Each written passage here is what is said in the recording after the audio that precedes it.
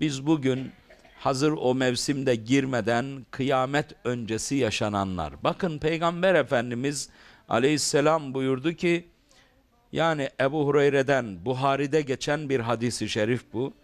İnsanlar yüksek bina yapma yarışına girmedikçe kıyamet kopmayacak. Geldi mi şu anda? Bakın kardeşlerim bu kitap tamam Türkçe baskılı yeni ama El Bidaye ve Nihaye yani bin yıl önce yazılmış bir kitap. Hazreti Muhammed Mustafa'nın hadisi şeriflerini nakleden İbni Kesir'in Ölüm ve Ötesi isimli eseri El Bidaye ve Nihaye isimli eserden seçilmiş bölümlerdir ahiretle ilgili.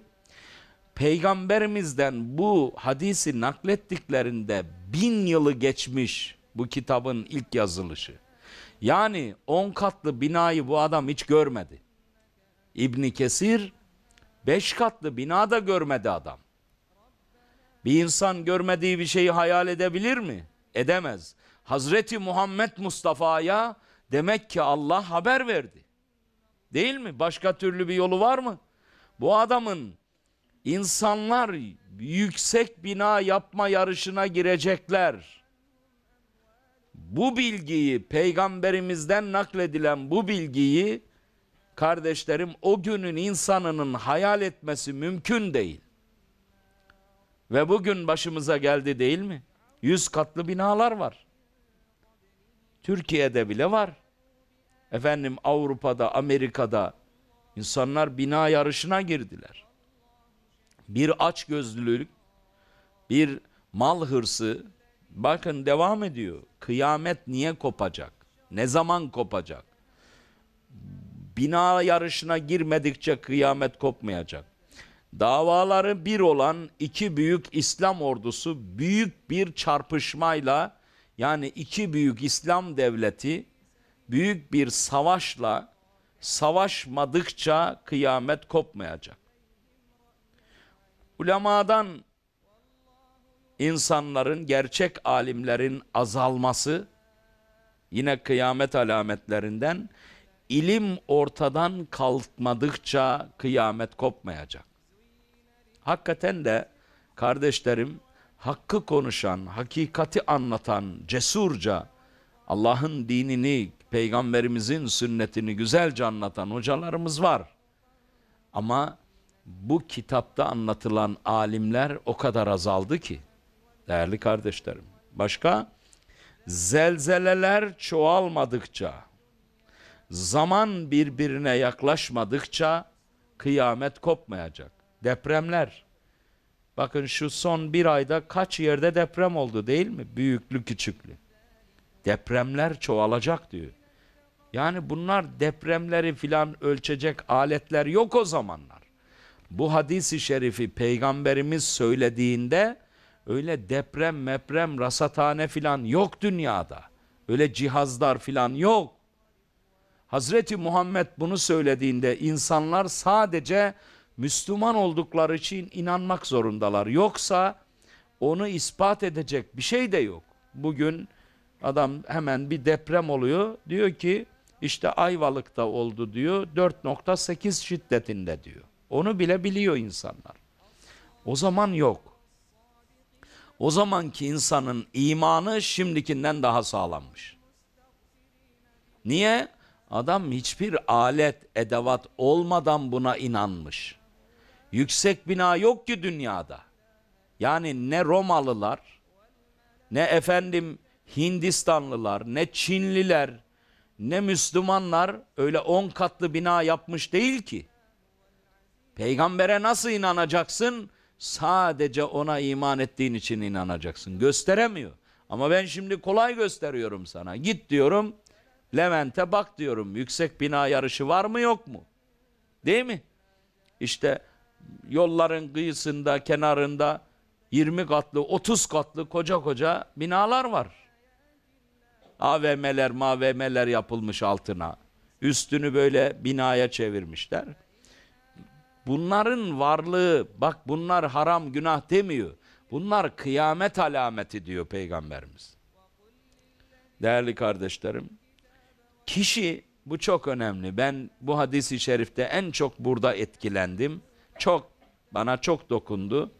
Bakın ne diyor Peygamberimiz Aleyhisselam? Kişi bir başkasının mezarının yanından geçerken ona mezardakine senin yerinde keşke ben olaydım demedikçe kıyamet kopmayacak. Yani keşke ölmüş olsaydım şimdiye kadar. Başına ne sıkıntılar gelecek ki Düşünsenize şimdi Suriye'de yaşananları, Arakan'da yaşananları, Doğu Türkistan'da Müslüman kardeşlerimize yapılan zulümleri, cinayetleri, ahlaksızlıkları bir düşünsenize. O insanlar mezardaki 300 yıl önce ölmüş babasının, dedesinin, atalarının mezarından geçerken keşke bugünlere kalmasaydık, ölüp gitseydik demezler mi? Sıkıntısı olan insan, derdi olan insan mezardaki ölüyle yer değiştirmek isteyecek diyor Peygamberimiz. Aman ya Rabbi. Değerli kardeşlerim, güneş batıdan doğmadıkça kıyamet kopmayacak dedi Resulullah. Güneş batıdan doğacak. O nasıl olacak ki? Kardeşlerim bir akşam vakti hava kararmayacak. Bir akşam bir saat geçince hava kararıyor değil mi şimdi akşam namazı kıldıktan sonra? Bir saat sonra bir bakıyor hava kararmış. Biraz sonra da yatsı ezanı okunuyor. Akşam namazını kılacağız bir gün. Ya bizim zamanımızda ya yüz sene sonra bilmiyoruz zamanını Allah bilir. Akşam namazını kılacağız.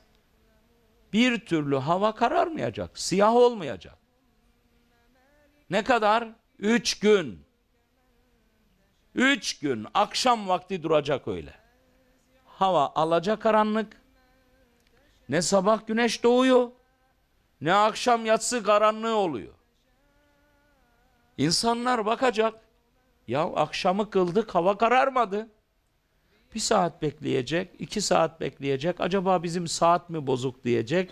Zaman geçecek, geçecek. O zaman anlayacaklar. Bak bu hadis bu güneş batıdan doğmadıkça kıyamet kopmayacak. Zaten onu görünce insan yani nasıl güneş batıdan doğacak? Her gün ne taraftan doğuyor? Şu taraftan doğuyor diyelim. Üç gün hava akşam karanlığında alaca karanlık bekleyecek. Üç gün kadar yani 72 saat. Zaman geçecek. O arada herkes anlayacak. İçki içen de anlayacak, namaz kılan da anlayacak, Allah'a inanan da anlayacak, Allah'a inanmayan da anlayacak. Hemen işte efendim televizyonları, telefonlarını arayacaksınız. Ne oluyor ya? Niye hava kararmıyor? Bir bilen var mı? Bilim adamları çıkacak. Şimdi deprem uzmanları çıkıyor ya. O zaman da fizik mühendisleri, efendim astronomi mühendisleri çıkacak. Herkes bir yorum yapacak. Sonra diyecekler ki eyvah bu güneş batmadığına göre bu güneş batıdan doğacak. Öyleyse koşun camilere diyecek, koşun Kabe'ye, koşun namaza.